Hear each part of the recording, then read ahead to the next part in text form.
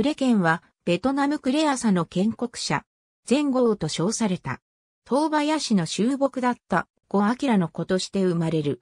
大越式前書によると、生まれた時に異様な光に包まれていて、背中には大きなあざが三つあったとされる。将来大物になるということで、なお、剣と付けられた。幼帝芸の難関に抗する戦争で勇敢に戦い、信頼を得てその娘をめとった。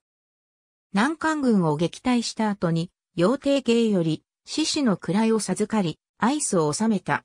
幼帝芸がイサム光線に殺されると、大宇10年12月に、アイスで挙兵して、イサム光線を打ち破った。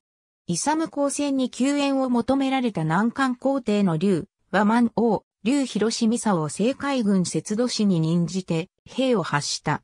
竜広志美佐は水軍を率いて安南に侵攻したが、この時すでに五県はイサム光線を殺していた。南韓軍の侵攻を聞いた五県は白藤港で迎撃し、これを大いに破った。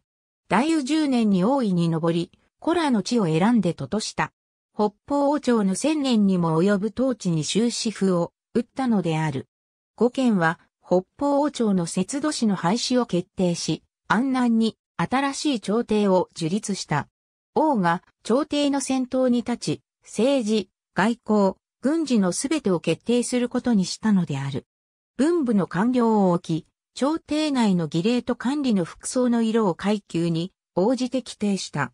また、功績のある将軍を選んで、重要な各州を収めさせた。帝公著は、関州、イサム公官は、峰州の志士となった。官は2年、コラで世を去った。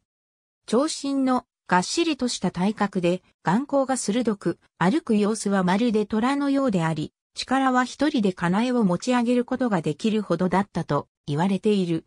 ありがとうございます。